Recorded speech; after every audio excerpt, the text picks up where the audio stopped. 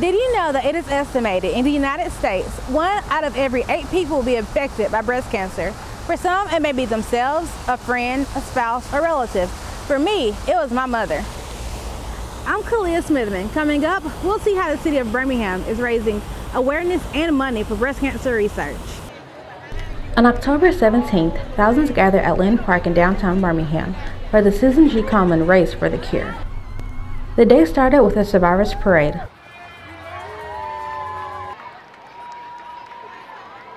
Followed by the 5K run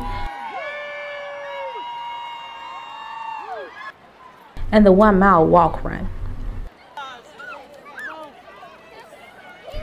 With many people present, there was one part that stood out to many. When we got there, I really wasn't expecting the parade of survivors. And my friend that is a cancer survivor asked me to uh, walk the parade with her.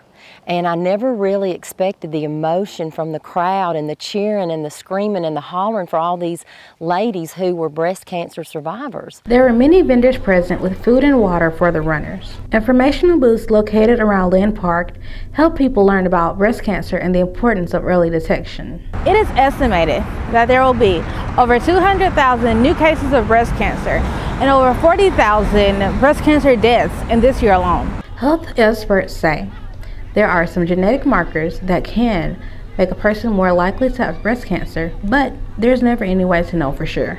However, there are some things you can do to prevent it. Managing your overall health, including your weight, physical activity, and diet, can play a part.